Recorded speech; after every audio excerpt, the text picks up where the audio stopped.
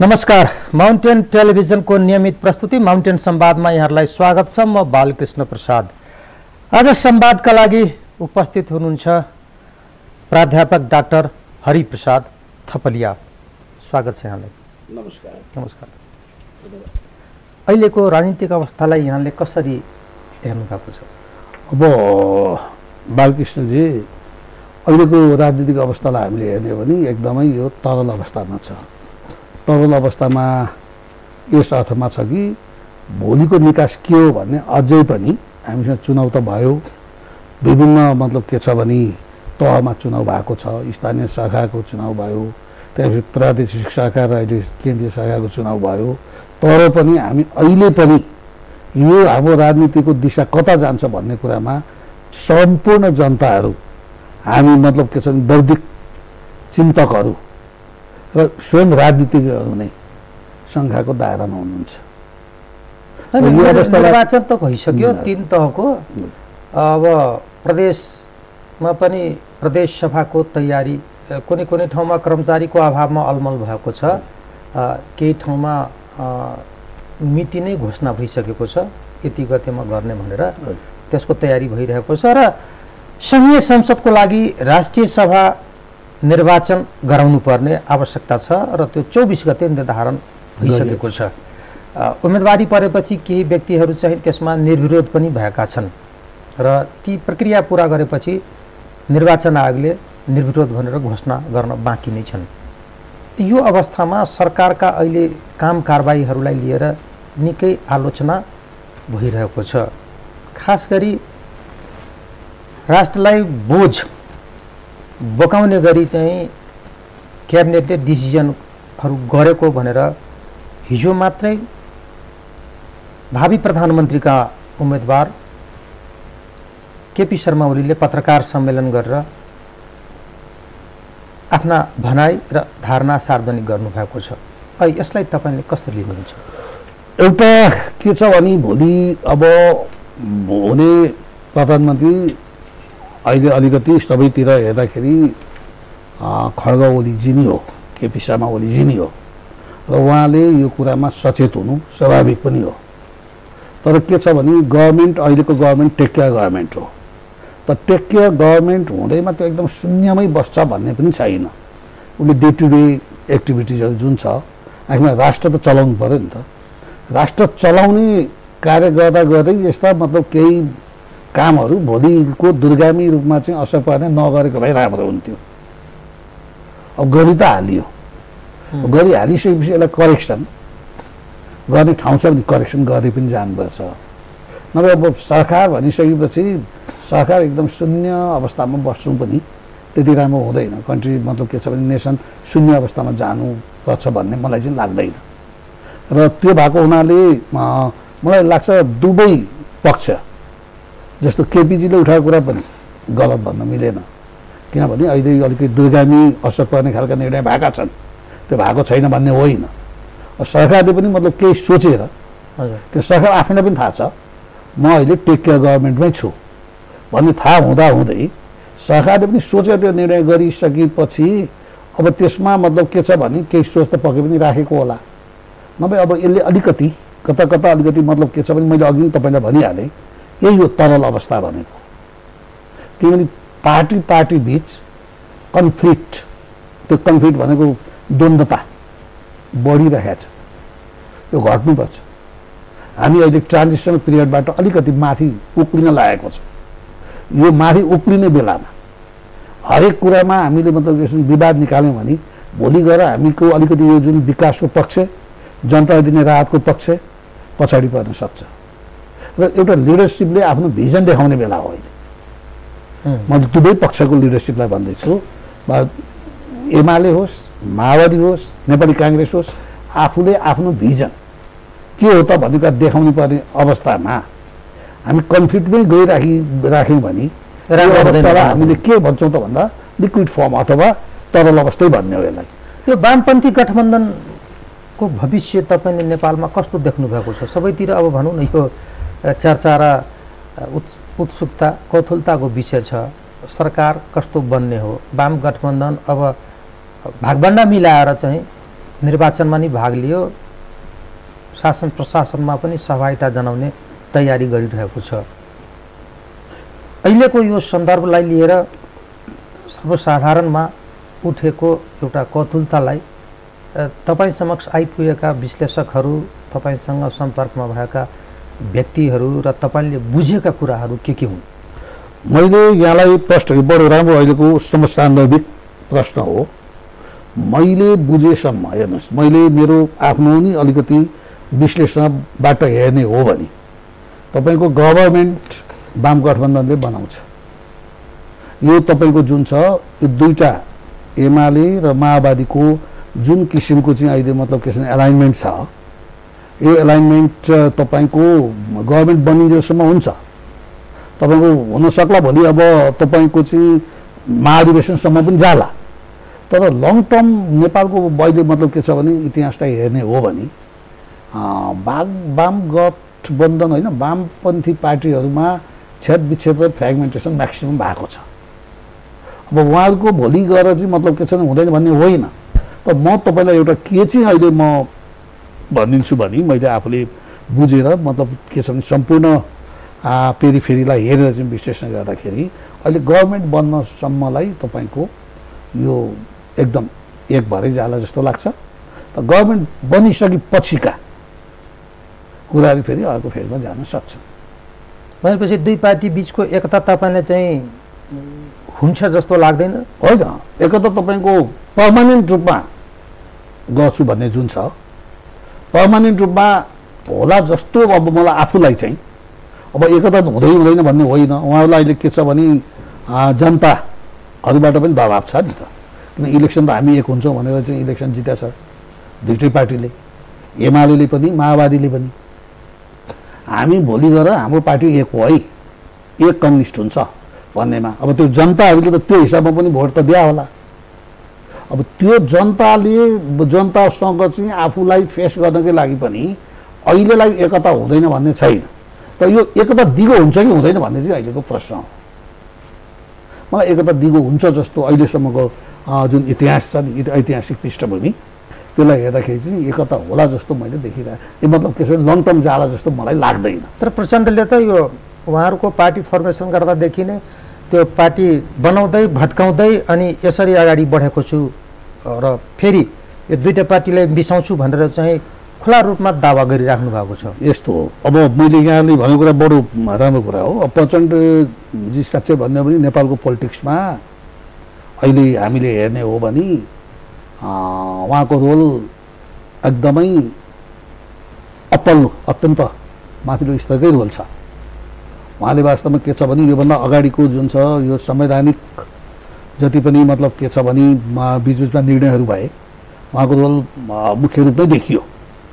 र उहाँ मतलब पोलिटिक्समा उहाँले अलिकति आफ्नो मतलब के छ भने उसलाई नदेखाएको होइन। लिडरसिपलाई उहाँले देखाउन नसकेको होइन। तर प्रचण्डजीले नि अब त्यो देखाउँदा देखाउँदै पनि अब अहिले आएर चाहिँ के छ भने अरू पनि लिडरहरू त जन्मिनु भएको छ नि त सबै पार्टीमा। एमालेमै पनि हेर्नुभयो भने खड्ग ओलीजी अब अध्यक्ष हुनुहुन्छ। अब यतापट्टि ए माओवादीमा हेर्नुभयो भने प्रचण्डजी अध्यक्ष हुनुहुन्छ। त्योभन्दा पछाडि पनि लिडरसिप छ नि त। अब त्यो लिडरसिपहरूले पनि आफ्नो ठाउँ खोज्छ क्या। त्यो स्पेस उहाँलाई कुन स्पेस दिने भन्ने कुरा लिडरसिपले बडो सजग भएर मतलब के छ भने सोचेर अगाडि बढ्ने हो भने तपाईँको अलिकति राम्रै रूपमा जान पनि सक्छ। जस्तो एमा एमालेमै भनौँ न। एमालेमै तपाईँको अहिले हेर्नुभयो भने पूर्व एक्स प्राइम मिनिस्टर पूर्व प्रधानमन्त्रीजीहरू हुनुहुन्छ। माधव नेपालजी झलनाथ खनालजी हुनुहुन्छ। उहाँले त कुनै न कुनै उहाँको त अहिले स्टिल उहाँ एक्टिभ पोलिटिक्समै हुनुहुन्छ नि त।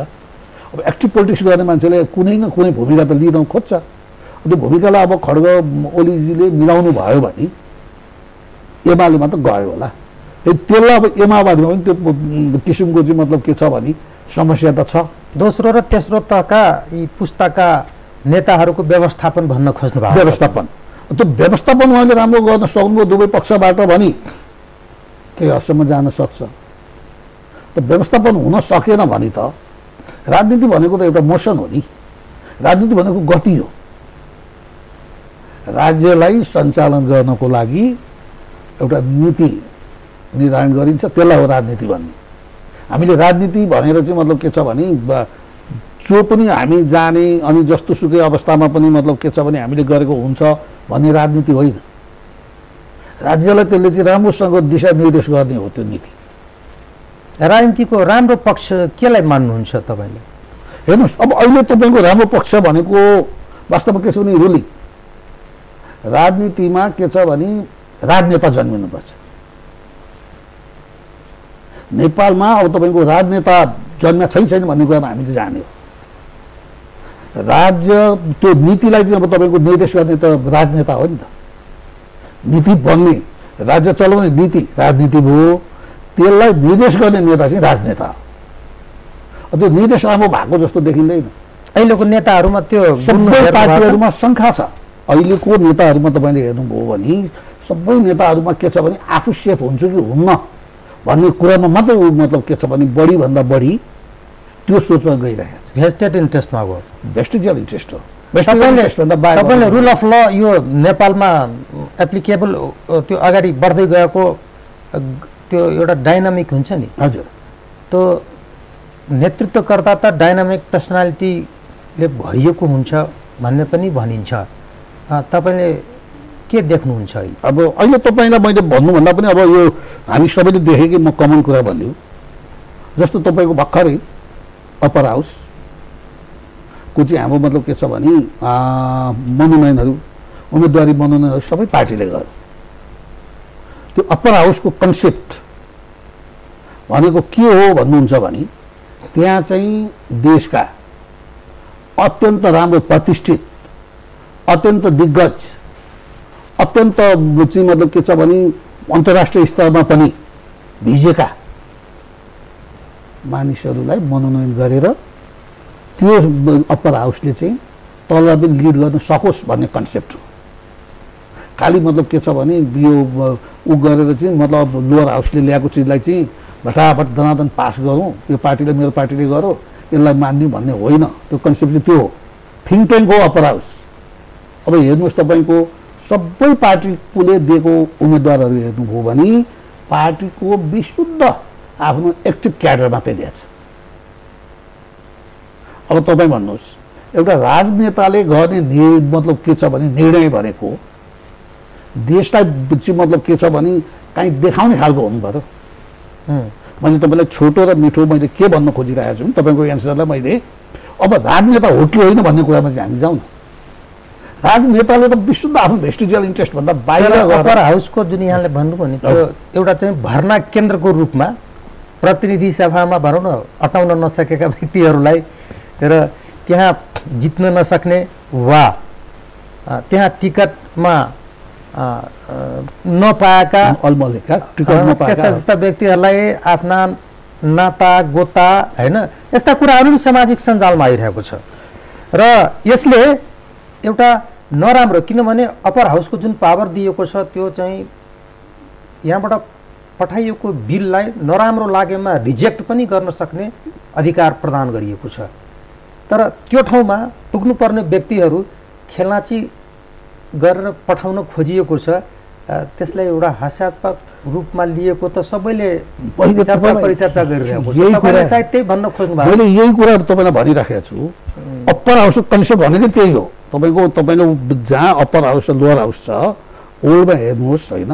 एउटा यो सानो हामी यो ब्रेक लिन खोजेका छौँ। त्यसपछि फेरि यहाँसँगको संवादलाई दर्शकवृन्द अहिले प्राध्यापक डाक्टर हरिप्रसाद थपलिया राजनीतिक विश्लेषक संवादमा हुनुहुन्छ।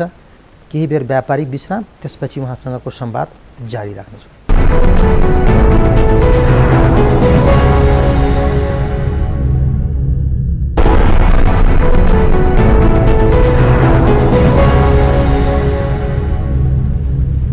दर्शकवृन्द माउन्टेन संवादमा पुनः यहाँहरूलाई स्वागत छ र अहिले संवादमा प्राध्यापक डाक्टर हरिप्रसाद थपलियाजी हुनुहुन्छ। पुनः स्वागत छ यहाँलाई। धन्यवाद। यो दुई हजार सात सालदेखि अहिलेसम्मको राजनीतिक अवस्था हेर्ने हो भने जहिले पनि नेपालमा सङ्क्रमण चाहिँ कायमै रहने स्थिति। त विदेशीहरूको पनि चलखेल भएको यो क्रीडा स्थलको रूपमा चर्चा परिचर्चा भइरहेको छ। यस्तो किन हुन्छ नेपालमा? अब हेर्नु न अब यसलाई हामीले के भनौँ भने नेपालको राजतन्त्र होस् या त तपाईँको प्रजातन्त्र भन्ने होस् होइन अब राणाजीहरूको शासनकाल हेर्नुहोस् हामी केही न केही कतै न कतैबाट इन्डियासँग बढी इन्फ्लुएन्सी भएको देखिन्छ। जस्तो तपाईँको सात सालमा हेर्नुहोस् विशेष गरी हामीले मतलब के छ भने अब हामीको बाध्यता पनि होला त्यो बाध्यता छैन भन्ने कुरा छैन किन हामी आफै सक्षम भएको भए पक्कै पनि हामी त्यहाँबाट इन्फ्लुएन्सिभ हुने थिएन होला। तर हामी सक्षम नहुनु पनि एउटा चाहिँ मतलब के छ भने बा उसले इन्फ्लुएन्स गर्ने बाटो दिएको हो जस्तो लाग्छ। अब सात सालमा अब हामीले चाहिँ तपाईँको राजाले नै अब राणा शासनबाट मुक्त हुनको लागि चाहिँ इन्डिया जानु अब इन्डियाबाट आइसकेपछि हामीले इन्डियाकै हिसाब किताबबाट हेर्नु सुरुमा त तपाईँको यहाँको पार्लियामेन्टमै मतलब इन्डियन एउटा रिप्रेजेन्टेटिभ नै हुन्थे। त्यहाँदेखि पछि बिस्तारै तपाईँको अब पन्ध्र साल आयो। अब पन्ध्र सालमा चाहिँ अब मतलब के छ भने काङ्ग्रेसले अब sole majority government to third मेजोरिटीमै government form गरेको थियो होइन? फेरि सत्र सालमा तपाईँको कु भयो।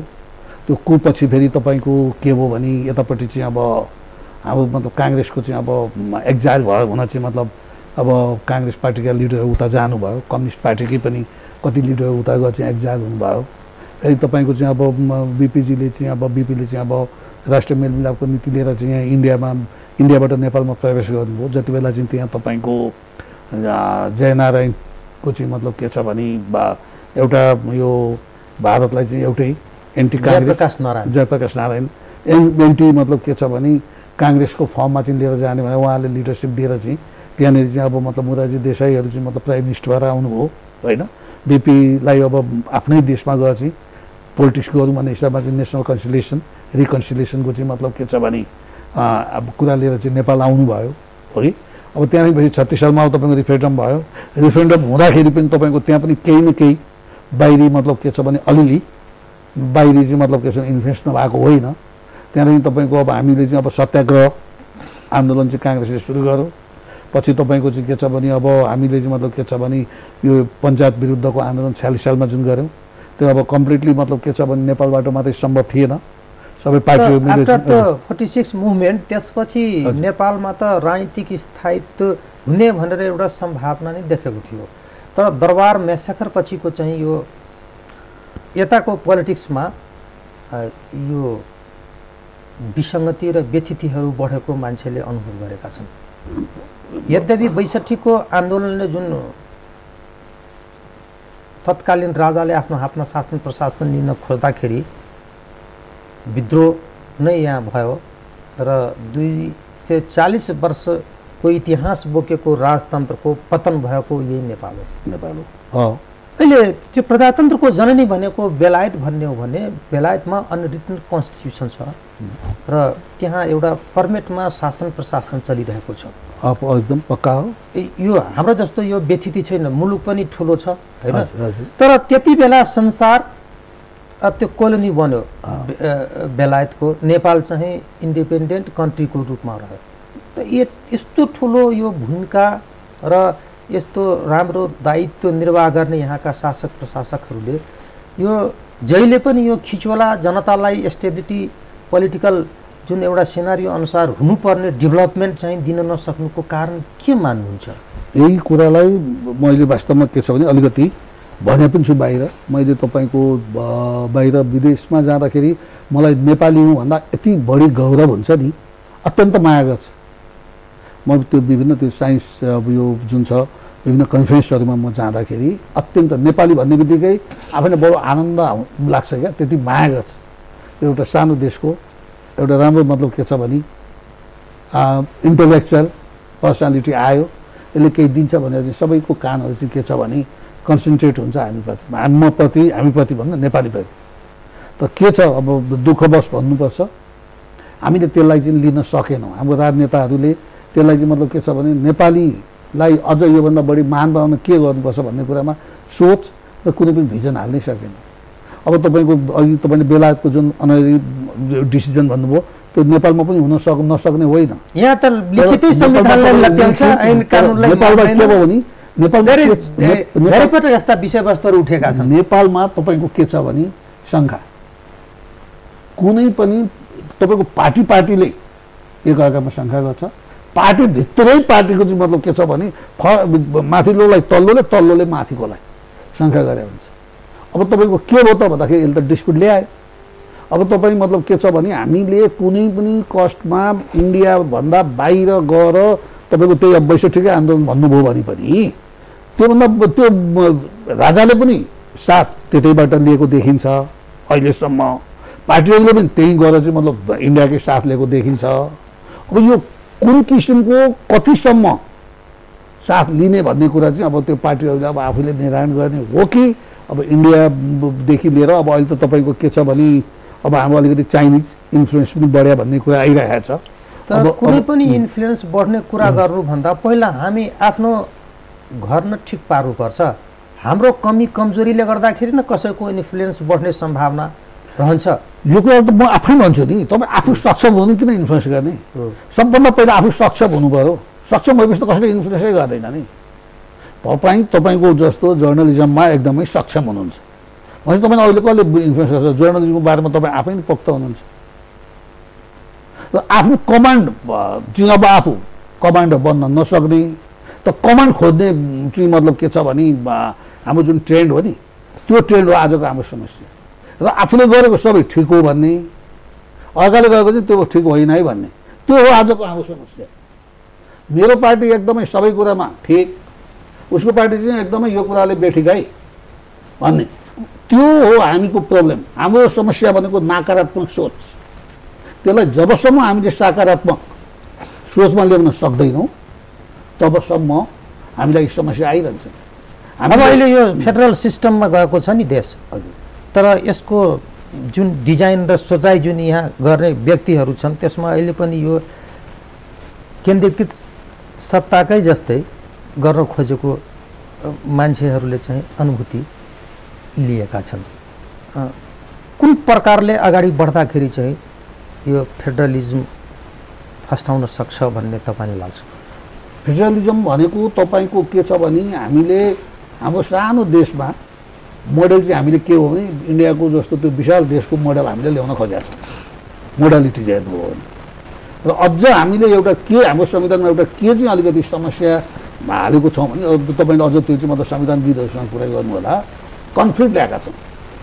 स्थानीय सरकार भन्छौँ। स्थानीय सरकारले नि वास्तवमा के छ भने भयो यदि धेरै समस्याहरू सावधान गर्न सक्ने। अहिलेको हाम्रो संविधानमा छ।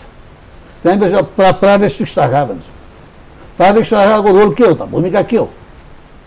प्रादेशिक संसदहरू बन्नुभन्दा पहिल्यै प्रदेशहरू को चाहिँ मतलब के छ भने क्यापिटलहरू भनौँ न हेडक्वार्टरहरू चाहिँ फिक्स गर्नु पर्दैन। आज तपाईँको के छ भने कहाँ बसेर चाहिँ शपथ लिने भन्ने कुरामा चाहिँ अब हामीले ठाउँ ठाउँ खोजेर चाहिँ कुदिराखेका छौँ।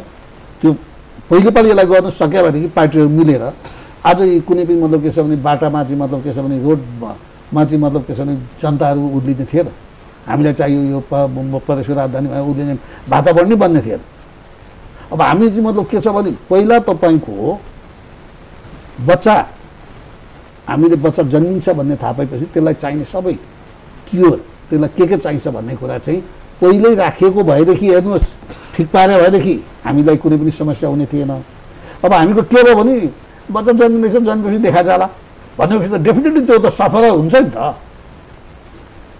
त्यसलाई सफल गर्ने काम भयो अब तपाईँको फेडरलिजममा अहिले तपाईँको फेडरलिजममा अहिले तपाईँले हेर्नुभयो भने साँच्चै भन्यो भने भोलि शाखा प्रमुखले गर्ने चाहिँ मतलब काम के हो र त्यो प्रादेशिक प्रमुख जुन अहिले हामीले राखेका छौँ उसको रोल के हो त्यसैमा तपाईँको कन्फ्लिक्ट हुन्छ हरेक चिज राजनीतिमा होस् या संविधानमा होस् या कुनै विधानमा होस् कानुनमा होस् नियममा होस् सबै ट्रान्सपरेन्ट र बडो सरल किसिमले कार्यान्वयन हुन सक्ने हुनुपर्छ त्यो हामीको अहिलेको समस्या हो अहिलेको संविधानमा तपाईँको हामी त्यो समस्याबाट हेर्नुहोस् संविधान जहिले पनि हाम्रो इम्प्लिमेन्टेसनको पार्टमा जाँदै गर्नुभयो भने कन्फ्युजन कन्फ्युजन कन्फ्युजन हुँदै जान्छ त्यो स्थिति देखिँदैछ तपाईँको आज हेर्नुहोस् न यो अब यो माथिको अप्पर हाउसको चाहिँ इलेक्सनले गर्दाखेरि चाहिँ गभर्मेन्ट बन्द पनि ढिलाइ भयो भयो भएन भन्नु त अब यसले पनि निम्ति आएको छ नि हिजो केपिजीले चाहिँ तपाईँको के छ भने जुन प्रेस कन्फरेन्स गर्नुभयो हजुर त्यो त अत्यन्त तपाईँको त्यो प्रेस कन्फरेन्स भनेको कन्फ्लिक्टको वास्तवमा के छ भने अत्यन्त माथि तल मान्नु पर्दैन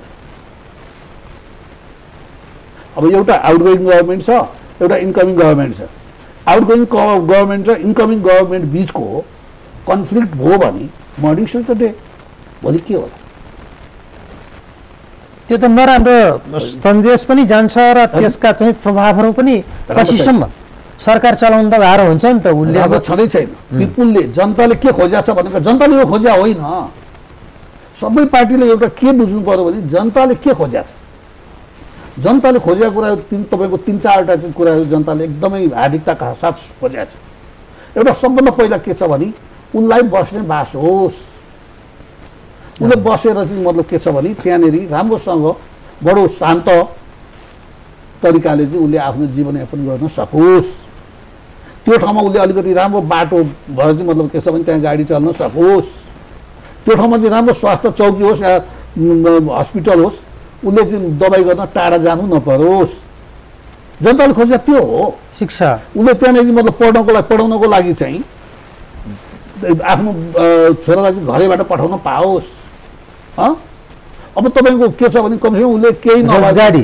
रोजगारी जनताले खोजेको त्यो हो त्यही जनताका अपेक्षालाई लत्याएर यसरी यो आफू खुसी चाहिँ हिँड्नु बढ्नु भोलि यो सङ्घीयता पनि सफल होला जस्तो लाग्दैन यो अवस्था हेर्दाखेरि नेपालको बहुत ठुलो च्यालेन्जिङ हो फेडरलिजम भनेको नेपालमा तपाईँको हेर्नुहोस् तपाईँ अब हेर्नुहोस् अझै तपाईँलाई म बताइदिउँ भोलि गएर चाहिँ म तपाईँको मैले के देखिरहेको छु भने म त अलिकति घुमेँ भने स्थानीय सरकारले आफूले मतलब ट्याक्स उठाउन पाउँछ त्यसलाई रोक्न सक्दैन कसैले पनि प्रादेशिक सरकारले पनि ट्याक्स उठाउन पाउँछ सेन्ट्रल गभर्मेन्टले पनि ट्याक्स उठाउन पाउँछ तिनवटा ट्याक्स कसले दिन्छ त भन्दाखेरि जनताले दिन्छ तिनवटा ट्याक्सको मारमा जनता पऱ्यो भने अन्ततोगता त जनता नै मार्न पर्छ हो त अहिलेको तपाईँको के छ भने के फाइदा अब पुरानो सत्तालाई फ्याँकेर नयाँ यो जुन तरिकाको अहिले शासन प्रशासन चलाउन खोजेको छ उहाँहरूलाई मात्रै शासनमा बसाउने यो डेभलपमेन्टको एउटा आधारको रूपमा जनताले खोजेका कुराहरूभन्दा यो लिडर प्रोडक्सनको सेन्टरको रूपमा नेपाललाई विकास गरेर समस्या त्यही हो? नेपालको तपाईँले चाहिने भन्दा बढ्ता लिडर छन् यहाँ। सात सालदेखिको तपाईँले- कार्यकर्ता बढी छन् भनेर भन्छन्। होइन पक्का तपाईँको विचारमा के छ यो? म यो कुरामा म भन्दैछु त सात सालदेखिको तपाईँले हेर्नुहोस् न तपाईँको नेपालको हरेक सेक्टर तपाईँ एजुकेसन हेर्नुहोस् तपाईँको पोलिटिकल सेक्टर हेर्नुहोस् सबै तपाईँको एक्सपेरिमेन्टमा अघि बढिरहेको छ प्रयोगत्मक मात्रै भइरहेको छ तपाईँको त्यही हो नि हाम्रो विडम्बना भनेको। हामीसँग आफ्नो केही पनि छैन। हामीले आफ्नो गर्नु पऱ्यो हामीले आफ्नो ल्याउनु पऱ्यो अनि मात्रै डिफ्रेन्स देखिन्छ नि त। तपाईँले त्यही चिज जुन छ अब मैले यही ज्याकेटमा सेतो लगाएँ भने त्यो डिफ्रेन्स देखिँदैन। पक्कै पनि त्यो कलर डिफ्रेन्स देखिएला। अब अहिलेको हिसाबले त म कलर डेफिनेटली डिफ्रेन्स आएको छ। हो कि तर त्यो मतलब जुन मूलभूत कुरा हो मूलभूत कुरा आएको छैन। तपाईँलाई म भनिदिउँ न अब अहिले तपाईँको होइन त जनताले त भोट दिए। तिनवटा निर्वाचन भन्यो तिनटैमा चाहिँ आफ्नो तरिकाको सहभागिता। दिए। एकदम राम्रोसँग दिएको छ। होइन? त्यसपछि अहिले अब अप्पर हाउसको अब चौ यो हुनु बाँकी छ चौबिस गतेको। त्यसमा अब जनताले चुनेका जनप्रतिनिधिहरूबाट चाहिँ सिलेक्सन हुन्छ। तर त्यहाँ पनि भागभन्डाको खेलले गर्दाखेरि भने जस्तो उम्मेदवारहरू सबै त होइन तर केही यस्ता उम्मेदवारहरू पनि त्यहाँ प्रवेशका अवसर पाएका छन् जसले सामाजिक सञ्जालमा चर्चाको शिखरमै पुग्ने अवस्था पनि छ। यो आफ्नो ठाउँमा होला। जनताको अपेक्षा अनुसारको काम भएन भने फेरि विद्रोहको सम्भावना रहन्छ। हो कि होइन? यसलाई तपाईँ कसले रोक्नै सक्दैन। यदि तपाईँको यही किसिमबाट हामीले डेभलपमेन्टका पार्टलाई साइड लगाउने त खोइ त रोजगारी त दिनै दिनै सकेका छन्। तपाईँको हेर्नुहोस् यो त यति ठुलो कुरा हो। उ त्यो इन्डियामा हेर्नुहोस् मोदीजीले आफूले उनले जति काम गरे उनले पनि गर्न सकेका छैन।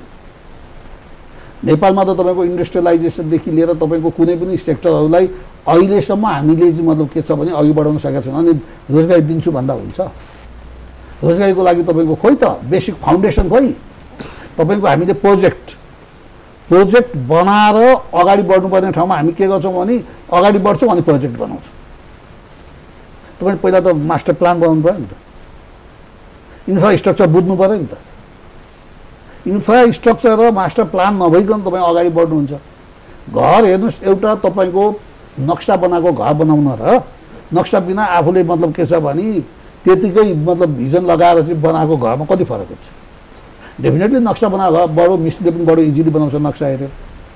भिजनमा त के हो भने भोलि यो भत्का भन्ने हुन्छ भोलि ऊ भत्का भन्ने हुन्छ त्यो भनेको एक्सपेरिमेन्ट एक्सपेरिमेन्ट भन्दा पनि रियल डेप्थमा जानु चाहिँ मैले आजको सन्दर्भमा नेपालका राजनेता नेपालका चाहिँ मतलब के छ भने सम्पूर्ण सेक्टरहरूलाई मेरो मतलब आग्रह छ विकास गरौँ तपाईँको हामी हेर्नुहोस् म तपाईँको युनिभर्सिटीको अलमोस्ट प्रोफेसर अब अलिकति वरिष्ठ प्राध्यापकै हुँ एकछिनलाई म भनौँ आजसम्म देशले मेरो भ्यालु के हो भन्ने कुरा बुझ्न सकेका छैन बुझ्न सकेको छैन त्यसले एउटा लयर्सको भ्यालु के हो भनेर बुझाएको छैन उसले हाम्रो मतलब लिडरसिपहरूले भ्यालु बुझ्ने भनेको तपाईँ दिनै पछि गएर चाहिँ यो हुँ भनेर चाहिँ मतलब गर्न थाल्नु लिडरसिपले भ्यालु बुझ्छ। सबैको स्तर आवश्यकता र नेपाली समाजमा परिचालन गर्न सक्ने क्षमतावान व्यक्तित्वहरूको पहिचान गरेर यथोचित स्थानमा काम समयमै सम्पन्न गराउनु चाहिँ बुद्धिमत्तापूर्ण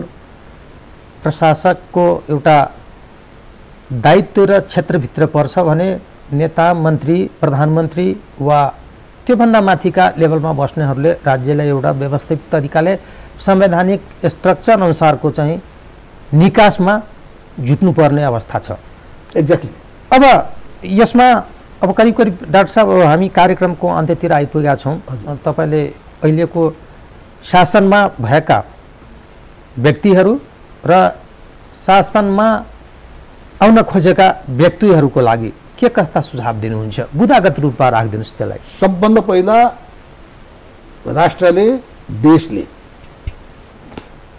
राष्ट्रको व्यक्तिको मेरो व्यक्ति होइन राष्ट्रको व्यक्ति भनेको के हो जसले कुनै न कुनै सेक्टरमा राम्रोसँग चाहिँ आफूलाई मतलब चिनाएको छ। त्यो मान्छेबाट के लिन सकिन्छ त? राष्ट्रले त्योसँग के लिन्छ भन्ने कुरा बुझ्नु पर्छ पहिलो कुरा सबभन्दा मेरो मान्छे भन्दा पनि राष्ट्रको मान्छे हो। पहिलो दोस्रो कुरा नेताहरूको सोच कम्प्लिटली सबैतिरबाट सकारात्मक हुनुपर्छ। सकारात्मक सोचमा नेताहरू अघि बढ्नुपर्छ। नेताहरूले मान्छे बोकेर हिँड्ने होइन मान्छे बोकेर हिँड्ने मान्छे नेता हुँदैन। तपाईँले आफ्नो पोकेट आफ्नो मेरो यो मान्छे म अहिले यसलाई चेप्छु यसलाई चेप्छु त्यो नेता हुँदैन। नेता राष्ट्रकै नेता हुनुपर्छ देशको नेता हुनुपर्छ। पार्टीको नेता मात्रै भएर हुँदैन। पहिला जानको लागि पार्टीको नेता हुने भने बेग्लै कुरा हो। त ऊ राष्ट्रको नेता हुन चाहिँ खोज्नुपर्छ जोसुकै होस्। एमालेबाट आउने होस् कि माओवादीबाट आउने होस् कि काङ्ग्रेसबाट आउने होस् कि मधेसवादी पार्टीबाट आउने होस् कुनै पनि पार्टीबाट आउने मान्छेले राष्ट्रको नेता हुने चेष्टा गर्नु पऱ्यो र त्यहाँदेखि पछि हच्चाको भएमा मैले गरिहालेँ यो निर्णय। यो निर्णय सबैले मान्छन् भन्ने सोचमै राख्नु भएन। निर्णय लिनको लागि कमसेकम कलेक्टिभ डिसिजन सबैलाई सबैको भिजन बुझेर। यो गर्दा यति राम्रो हुन्छ यति नराम्रो हुन्छ। सबै निर्णय राम्रा हुँदैन। त्यसका नराम्रो पक्ष पनि हुन्छ तर राम्रो पक्ष बढी छ भने यो राम्रो पक्ष बढी छ। यो नराम्रो आयो भने पनि यसलाई हामीले यसरी चाहिँ राम्रो गर्नुपर्छ है भन्ने सोच नेताहरूले राख्ने गर्छ। देश हाँक्न के छ भने तपाईँ बसे पनि नबसे पनि। मैले भन्छु क्या तपाईँको युनिभर्सिटीमा कोही पनि पदाधिकारी नभए पनि तलब मात्रै दियो भने पनि त्यहाँ काम त हुन्छ नि। पदाधिकारी किन त? जब स्टेप राखिदिनु नभए भिजन नभएको मान्छेलाई ल्याउने हो भने तपाईँको सोच नभएको मान्छेलाई ल्याउने हो भने स्टोमिक त र स्टोमिक काम दिइहाल्यो काम दिइहाल्यो नि तपाईँसँग भिजन नभएको मान्छेहरूलाई र अनि त्योभन्दा पनि अझ हाम्रो मतलब जस्तो देशमा कोही पनि मान्छे पैसामुखी भन्दा पनि काममुखी अभिमानमुखी भन्दा पनि ज्ञानमुखी नकारात्मक सोचभन्दा सकारात्मक सोच र बढीभन्दा बढी धाउने भन्दा पनि खोज्नु पऱ्यो हामीको नेपालमै छैन भने पनि हाम्रो दक्ष मान्छेहरू बाहिर छन् बाहिरबाट पनि ल्याउनु पऱ्यो र इम्प्लोइमेन्ट दिने खालको सोच भएको नेता होस् त्यो भएपछि हामीले मतलब के छ भने नेताहरूबाटले पनि जस पाउने जनताले पनि मतलब के छ भने बडो आफ्नो चाहिँ मतलब भयो भनेर चाहिँ ढुक्क हुने डाक्टर साहब कुरा हुन्छ समय र सम्वादका लागि धेरै धेरै धन्यवाद माउन्टेन टिभीको तर्फबाट यहाँ। म पनि अत्यन्त आभारी छु तपाईँसँग। मैले यो कुरा राख्न पाएँ। त्यसको लागि बालकृष्णजी। अत्यन्त हार्दिकताका साथ तपाईँसँग म आभार प्रकट गर्दछु। धन्यवाद। दर्शकवृन्द प्राध्यापक डाक्टर हरिप्रसाद थपलिया अहिले संवादमा हुनुहुन्थ्यो। माउन्टेन संवादको निर्धारित समय सीमा यहीँ सकिन्छ। माउन्टेन टेलिभिजन हेर्दै गर्नुहोला। नमस्कार।